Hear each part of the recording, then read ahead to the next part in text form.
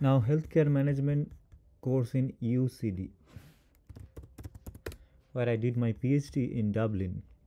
So here is this something called certificate in healthcare management practice. But if it is a certificate sort of course they probably do not uh, take international students and i think so yeah it's people for who are already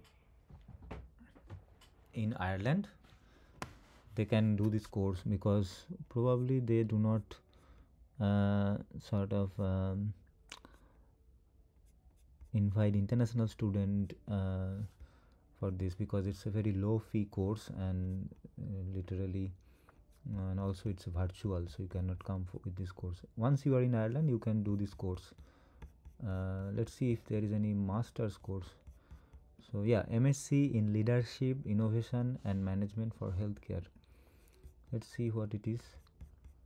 Uh, yeah so i'm 100% sure that if you are um, not 100% because attendance they are called part time so I'm not sure. You have to ask uh, uh, these people uh, whether if you apply for this course outside Ireland uh, from India or Bangladesh or whatever uh, where then you can apply for visa and so on to come in Ireland. So it's a two years part-time course. Um, so you have to contact uh,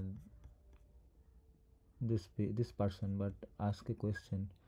Okay so if you click on the ask a question and you can clearly write your name email and you can write your question. The, you should write that if as an international student who is outside india at the moment uh, can apply for this course and uh, come with a student visa and so on.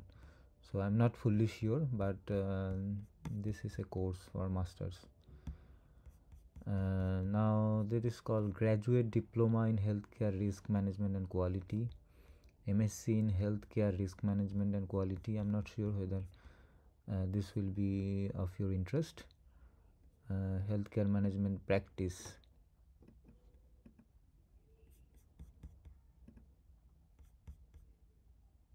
So sorry this is a particular module not a course full course. Um,